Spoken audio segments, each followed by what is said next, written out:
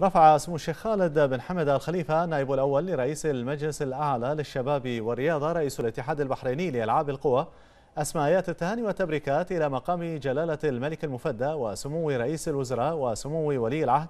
بمناسبة نجاح البحرين في استضافة سباق جائزة البحرين الكبرى لطيران الخليج للفورمولا 1 2017 وأعتبر سموه أن نجاح السباق في نسخته الثالثة عشر هو إنجاز يتجدد لمملكة البحرين يضاف لسلسلة الإنجازات التي تحققت في العهد الزاهر لجلالة الملك المفدى الذي شجع ودفع دائما لتكون البحرين وجهة رئيسية بالمنطقة لاحتضان مختلف الفعاليات. وقد أشاد سموه بالجهود المخلصة التي يبذلها سمو ولي العهد على صعيد رياضة السيارات لا سيما سباق الفورمولا 1 الذي كان له التأثير الواضح في تعزيز مكانة مملكة البحرين على خارطة الرياضة العالمية. موجها سموه الشكر والتقدير لكافة المواطنين والمقيمين والمساهمين في إبراز هذا السباق. معربا سموه عن فخره واعتزازه بموقفهم الصادق والكبير بالمشاركة الفاعلة لإنجاح فعاليات هذا الحدث.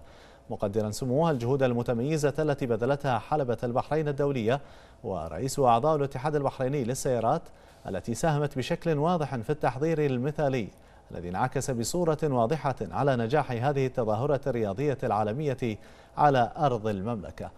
وقال سموه لقد عشنا مع الأسرة الرياضية لحظات ممتعة من الإثارة والتشويق والحماس في هذا الحدث العالمي الذي شهد جهودا واضحة من قبل الشباب البحريني حسب موقعه الذي أشعرنا بالفخر والاعتزاز الكبيرين حيث تدل هذه المشاركة الشبابية على حرصهم للتفاعل والإسهام في هذا التجمع الرياضي العالمي الذي تحتضنه مملكة البحرين.